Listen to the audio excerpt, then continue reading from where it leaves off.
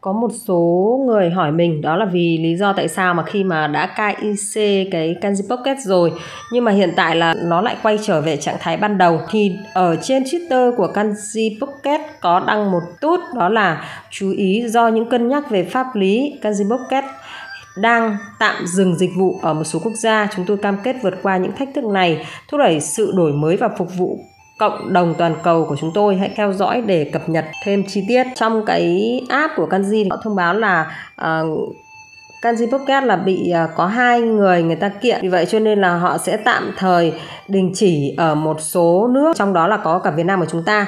Đó là lý do mà tại sao khi các bạn vào đây các bạn ờ, gõ vào cái chỗ open này thì nó báo là chúng ta phải cay C trước đã đúng không ạ? Ví dụ như của mình thì vẫn hiện tại vẫn đang bị treo. Vì vậy cho nên là khi mà mình gõ vào open là mình vẫn nhận được đúng không ạ?